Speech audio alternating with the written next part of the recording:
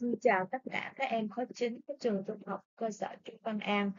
Hôm nay chúng ta gặp nhau qua bài ôm giữa kỳ 1.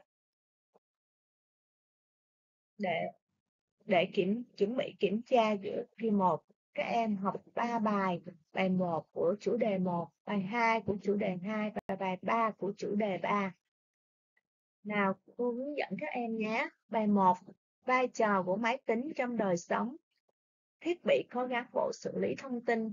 Đặc điểm của thiết bị có gắn bộ xử lý thông tin là có thể tiếp nhận thông tin để giải quyết hoạt động. Thiết bị có gắn bộ xử lý thông tin có mặt ở khắp nơi và trong mọi lĩnh vực của đời sống xã hội. Khả năng của máy tính và ứng dụng ứng dụng của máy tính là công cụ giải quyết các bài toán khoa học kỹ thuật phức tạp. Phương tiện thiết yếu của con người trong cuộc sống xã hội ngày nay tác động của công nghệ thông tin đối với xã hội, giáo dục, đối với đời sống xã hội. Công nghệ thông tin đã thay đổi phương thức con người thu thập, lưu trữ, xử lý, cung cấp, chia sẻ thông tin, thay đổi phương thức làm việc, quản lý, tự động hóa quy trình sản xuất.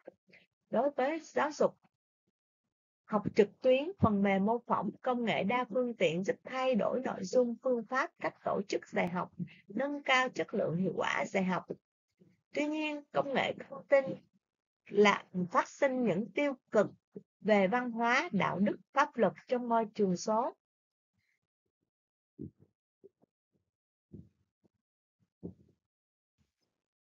Về vận dụng, các em hãy trả lời câu hỏi máy tính không có khả năng gì?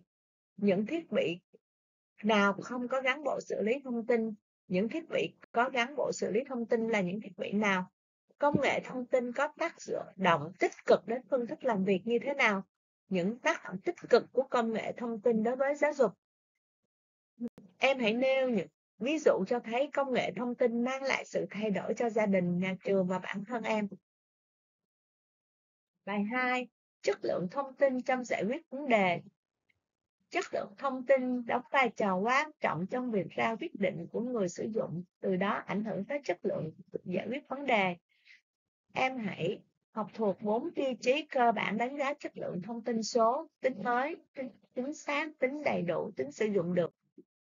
Mặt trái của công nghệ số, tức là tiêu cực của công nghệ số, ảnh hưởng tiêu cực của công nghệ số đối với sức khỏe, bị lệ thuộc vào công nghệ số, phát sinh những tiêu cực về đạo đức, văn hóa, pháp luật trong môi trường số, ảnh hưởng đến môi trường và lãng phí, nguy cơ tụt hậu, mất việc làm. Bài 3 tác động của công nghệ số đối với con người xã hội. Một số quy tắc ứng xử trên mạng xã hội. Các em hãy tuân thủ quy định hướng dẫn sử dụng của nhà cung cấp, sử dụng họ tên thật, chia sẻ thông tin có nguồn chính thống tin cậy, không sử dụng ngôn từ gây phản cảm, vi phạm thuần phong mỹ tục, gây hận thù, kích động bạo lực, phân biệt vùng miền tôn giáo. Tham gia giáo dục bảo vệ trẻ em, trẻ vị thành niên sử dụng mạng xã hội một cách an toàn, lành mạnh nhé. Những tiêu cực về đạo đức, văn hóa, pháp luật trong môi trường số. Các em tránh cung cấp chia sẻ thông tin sai lệch, giả mạo, gian dối, bôi nhọ, xúc phạm, bắt nạt, lừa đảo, phát tán phần mềm độc hại, tấn công mạng, xâm phạm quyền riêng tư, bản quyền tác phẩm, bạo lực mạng, các hành vi bị cấm trên Internet, cung cấp, chia sẻ, lưu trữ, sử dụng thông tin số nhằm kích động bạo lực, hận thù, tiết lộ bí mật của tổ chức, cá nhân, xuyên tạc, vu khống xúc phạm uy tín, danh dự của tổ chức cá nhân, quảng cáo, tuyên truyền, hàng hóa, dịch vụ bị cấm,